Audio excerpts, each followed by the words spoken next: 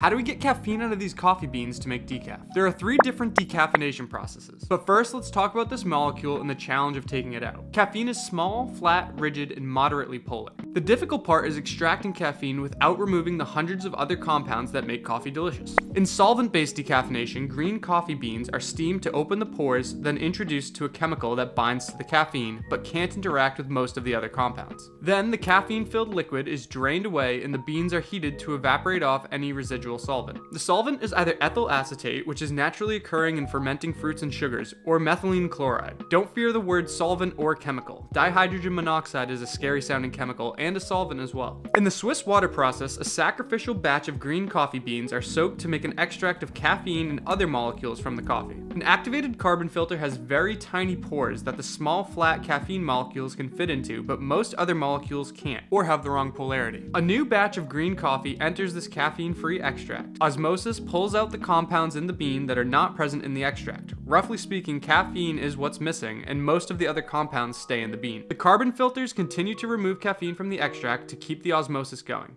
When the beans leave this process, they are 99.9% caffeine free. Then, a new batch enters and the process starts again. When CO2 is heated and pressurized to a supercritical state, it has a liquid-like ability to dissolve things and a gas-like permeability through the bean. The pressure can be precisely tuned so the density is just right to dissolve caffeine specifically. This is typically about 250 bar or the pressure of a mile and a half deep in the ocean. Moistened green coffee beans are exposed to the supercritical CO2 that carries away the caffeine, which can be recollected for other uses. When depressurized, the CO2 leaves the bean residue free. All of these processes rely on the geometry and polarity of the caffeine molecules to target its extraction, so some similar molecules can also get lost. These tend to be volatile aromatics and effervescent top notes. The compounds that provide the mouthfeel, the body, and the major flavors are basically all left intact.